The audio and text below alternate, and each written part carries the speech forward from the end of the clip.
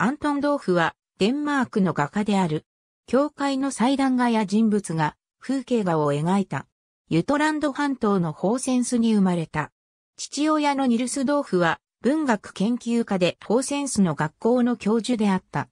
学者として父の後を継ぐことをやめ、画家の道に進み1845年にデンマーク王立美術院に入学し、クリストファー・エカスベアの教室で学んだ。その後、2年ほどビルヘルム・マーストランに学んだ。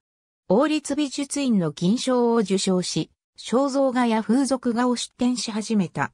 肖像画の分野で注目を集め、王立美術院の賞でニューハウゼンスクプレミアを受賞した。この頃からシェラン島の漁師の姿を題材に描き始め、この題材や肖像画で出展を続けることになった。1859年から1861年に王立美術院の奨学金でイタリアを旅し、ソ連との漁師の姿や夕暮れの風景、イタリアの家族の生活を描いた。同府の仕事の最も大きい部分で生活を支えたのは、デンマーク各地の教会の祭壇画を描くことであった。1857年から1910年の間に80以上の祭壇画を描いた。1871年に王立美術院の会員となり、1879年にダンレーブロ勲章を受勲した。